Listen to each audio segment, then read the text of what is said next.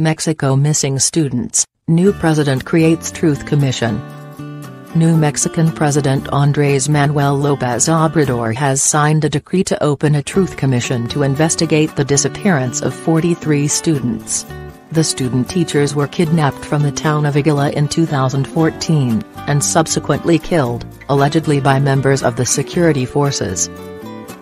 The announcement was made on Mr. Lopez Obrador's first working day in office. There have been no high-profile prosecutions for the murders, which shocked Mexico and the world. The 65-year-old, popularly known by his initials AMLO, won a landslide victory in July, his third presidential bid.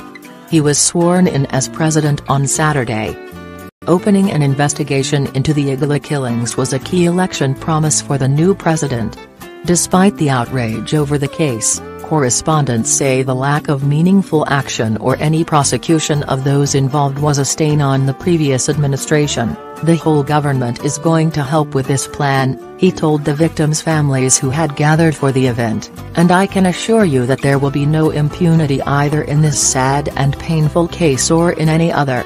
In his first early morning news conference on Monday, which started at 7 o'clock local time, he promised to bring deep and radical change to the country. The event marked a change from the behavior of his predecessors, who rarely held conferences. Isn't that a change, that I am here, informing you? He asked reporters.